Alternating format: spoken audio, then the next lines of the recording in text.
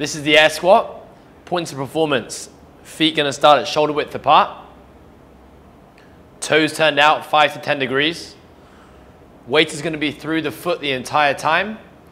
We're gonna start by bracing, rib cage down, break at the hips first, hinge to parallel or below, maintaining a nice flat lumbar curve, and stand up again. One more time, break at the hip, tight, knees tracking the same line as the toes, and stand.